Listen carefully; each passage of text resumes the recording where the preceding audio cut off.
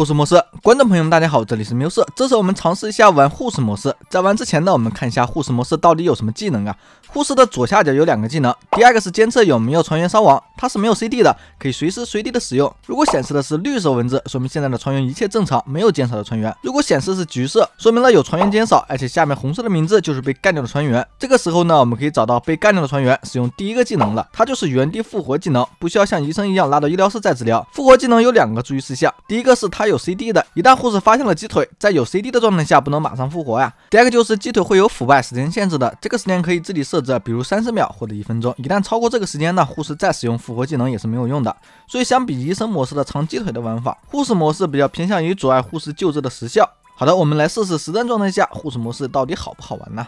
这时候我们把原地复活的时间调到了六十秒，鸡腿腐败的时间也调到了六十秒。开局护士自报身份，拍灯或者语音交流的时候告诉大家，然后就可以像医生模式一样的玩了，不拍灯不报告。内鬼不能刀护士，还是船员和护士做完所有的任务就可以胜利。内鬼干掉所有的船员也能获得胜利。前期的话我们安心做任务，找任务的过程中呢一直监视船员的状态，一旦发现有人被干掉，立马去找鸡腿啊。内鬼关闭了大门，我们去看看是不是只有餐厅关闭了，医疗室没有关闭啊？餐厅可能有内鬼，小居或者是小黄。小黄跑出去了，我们持续监控船员的状态，每过一段时间就看一下心电图。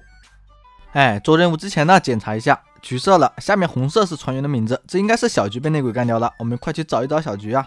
如果一分钟内不把小菊给复活，他就永远复活不了了。电气室没有，安保室也没有，反应堆只有小粉，反应堆的后面没有监测到鸡腿，还以为是小粉在藏鸡腿呢，这就有点尴尬了。转了大半圈都没发现小菊，估计是在导航室了。小黑在下面干什么呢？怎么不做任务，在餐厅跑圈呢？我们下去看看什么情况呀？哦，原来小青被干掉在这里啊！看样子小黄的嫌疑最大，小黄有可能是内鬼啊。救活了小青，还在这傻傻的站着。嗨，你倒是快点走，做任务呀！检测一下。哎，对了，差点把小菊给忘记了，这下有点完蛋了。我这复活的技能刚刚用过，还要等一分钟，估计小菊的鸡腿已经腐败了。哎，我们还是去尝试一下吧，实在救不了就算了。哎，小黄你在干什么？导航室居然有两个鸡腿，好家伙，估计是刚刚把小粉倒在这里了。我们的 CD 还有三十秒了，感觉也只能救一个小粉。哎，小菊，社长对不起你啊，要怪就怪小粉吧，他是房主，把复活调到了六十秒，内鬼的刀刃时间估计也是二十秒呀。我这护士就算拼上了老命，也救不活全部啊。我笑了，小黄站在这等着呢。小青估计是看到这阵势，吓得赶紧跑路了。哎，生怕又被小黄给刀了。我们还是不要在这里等啊，想办法把小黄给吸引走，否则等会救小粉的话，又会被刀掉。嗯，小黄非但没走啊，又在这蹲到了一个小黑啊，这我也是无语了。这还让社长怎么救啊？小菊已经腐败了，这肯定救不了了。小粉的话，估计还可以抢救一下，感觉他的生存的几率大一点。小粉赶紧跑啊！小黄刚刚刀掉了小黑，CD 至少还有十秒。小黑这下也是救不了了，我们赶紧做任务呀，看能不能在小粉和小青被刀之前呢做完任务。小粉尽量拖延一下时间呀，拖延三十秒，然后小黄下次刀人 CD 二十秒的话，中间我们就有了五十秒，我们还可以救一次船员呀。感觉不太妙啊。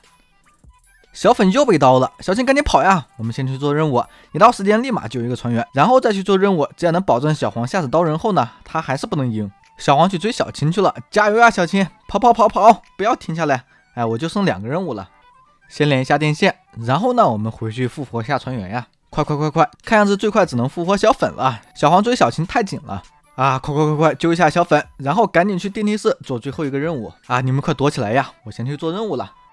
小晴去跟小粉了，这不和小黄一面相撞吗？哎，没关系，就算小黄等会刀掉一个人，他还要等二十秒的 CD。哎，我感觉时间对于我们应该是够的，估计要把小黄给气死了。我是感觉护士模式比较考验大家的时间计算能力的，哎，需要不断的算内鬼还有多久会刀人，算自己还有多久才能救人。如果什么都不算的话，就会白白浪费时间，内鬼也会赢得很轻松。